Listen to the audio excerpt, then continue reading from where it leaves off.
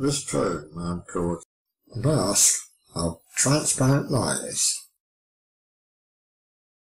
I did not see through the mask at first. The cheating, lying to friends, lovers, and others as the years went by. Did he really think getting away that such lines would last forever?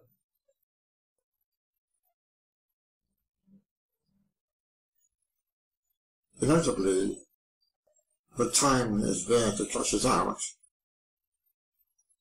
Would trust ever be the same again? Where then? There is no harbour, and nowhere to hide.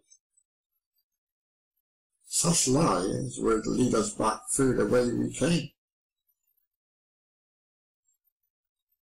And now I see you clearly for what you are. Just a liar and a cheat.